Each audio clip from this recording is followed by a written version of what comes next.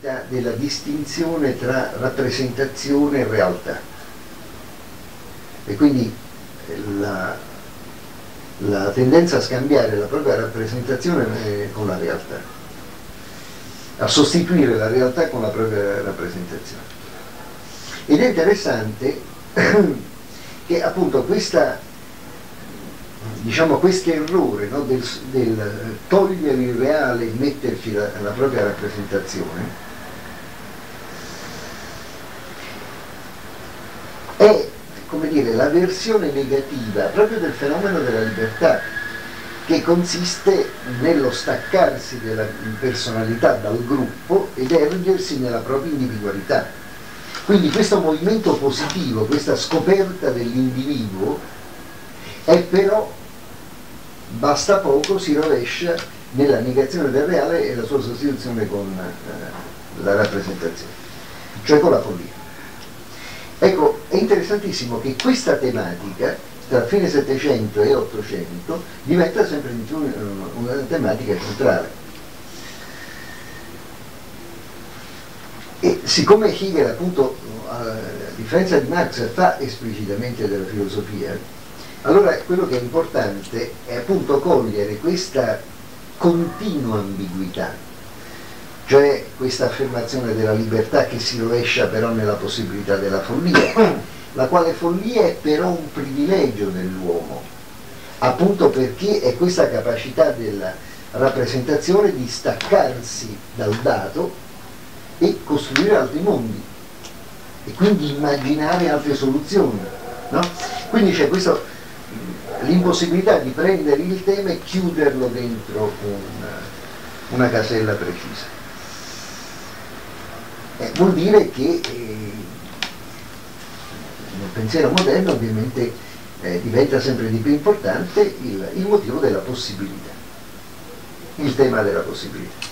Ora, eh, se noi facciamo caso, ambiguità, contraddizione, eh, possibilità, sono tutte quante nozioni indubbiamente centralissime nel quadro culturale contemporaneo, non dico moderno, però contemporaneo. E quindi per esempio, e voi lo sapete bene che quando anche nel linguaggio comune eh, si polemizza contro lo storicismo, spesso succede che delle persone polemizzano contro lo storicismo. Intendono dire polemiche contro quel modo di eh, concepire la storia come qualcosa di spiegabile nel senso che tutto ciò che accade è necessario e allora appunto lo storicismo appare un determinismo, e, e appare chiudere la, possibili la possibilità della, crisi, della critica, eh, sembra appunto definire un destino da cui non puoi uscire. E di qui invece l'istanza della, della trasgressione rispetto alla regola. Vabbè. Ora, Quello che è interessante è che invece il tema della possibilità, eh, qui addirittura dobbiamo andare a 600, 700, 800, è che è un tema che nasce strettamente in, eh, in collegamento con la riflessione logica, con la riflessione matematica, con il, il fatto fondamentale della, della, scoperta degli strumenti, il canocchiale, il microscopio, no? quindi la possibilità della sostituzione dell'organo naturale con altri, eh, con altri, organi, ma costruiti dal, dall'uomo, che ampliano la possibilità di vista, ma che pongono un problema però fondamentale. E cioè ciò che io vedo con il canocchiale va dimostrato che sarebbe lo stesso che vedrei se il mio occhio fosse più potente. Perché in realtà quello che vedo è ciò che risulta da uno strumento costruito sulla base di una matematizzazione. E quindi in realtà emerge questo ampliamento delle possibilità dell'uomo, ma non risulta più chiaro fino a che punto questo nuovo mondo grande, macroscopico, microscopio che l'uomo scopre sia qualcosa di realmente esistente o qualcosa che risulta dalla arbitraria costruzione umana e quindi appunto sempre l'ambiguità eccetera. Ed è interessante appunto che il, eh, il tema della follia, della, della malattia mentale, eccetera, è sempre tematizzato, pensate a Locke stesso, come una piccola deviazione rispetto al, all'uso normale, per esempio una piccola deviazione all'uso normale dell'occhio, una piccola deviazione all'uso normale dell'udito e voi ricordate che poi Freud quando parlerà dei lapsus eh, distinguerà lapsus del, dell'udito, della vista, del linguaggio, proprio perché c'è questo motivo eh, moderno appunto della ambiguità continua dello strumento e quindi del,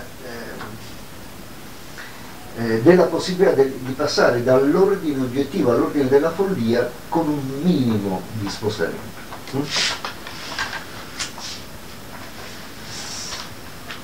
D'altra parte è chiaro che questo è lo, lo sfondo perché sia possibile anche ritematizzare il, le caratteristiche di una scienza, perché evidentemente al fondo qui c'è una concezione del reale non semplicemente come il già dato, infatti i nuovi strumenti possono farmi vedere altre cose, possono allargare i confini, possono cambiare i punti di vista e quindi non è già sicuro, già acquisito cosa sia per esempio scienza della società o scienza della fisica o, quello che volete, ma proprio l'introduzione di nuovi strumenti pone la necessità di riconsiderare i confini della scienza per esempio i confini dell'economia politica nel caso di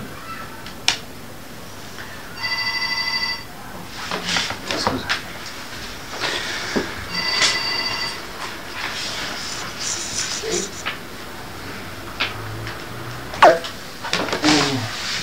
Queste, queste, note, appena accennate ovviamente, eh, hanno il senso di dire indubbiamente il discorso che Marx fa lì sulla critica al programma di Gotha è eh, riducibile in poche parole, insomma molto semplice, no? E, se non che non, eh, non, è affatto semplice perché eh, c'è uno sfondo dentro cui si inserisce e allora quelle poche eh, chiare parole hanno eh, però un significato proprio dentro questo sfondo. e questo sfondo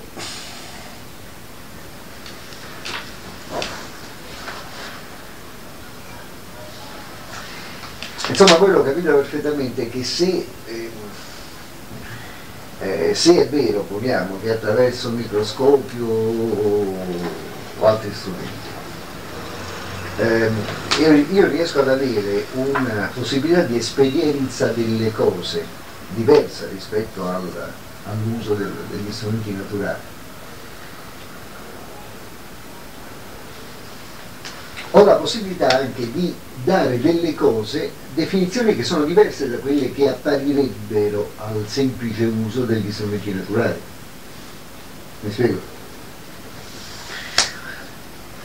Eh, questo è interessante perché eh, poniamo che eh, io dica questa è la natura del ferro, del metallo. Io lo dico sulla base della scienza odierna degli strumenti suoi. E allora quello che dico sicuramente è qualcosa di estremamente diverso da ciò che l'esperienza mi direbbe. Ed è interessante che la natura del metallo risulta proprio dall'uso di strumenti eh, raffinati, cioè prodotti da una teoria. E d'altra parte la natura del metallo è, è dire, l'oggettività piena del metallo. E però è curioso che questa oggettività piena io la raggiungo per via dell'astrazione e della strumentazione che l'applicazione dell'astratto, cioè della teoria, mi consente.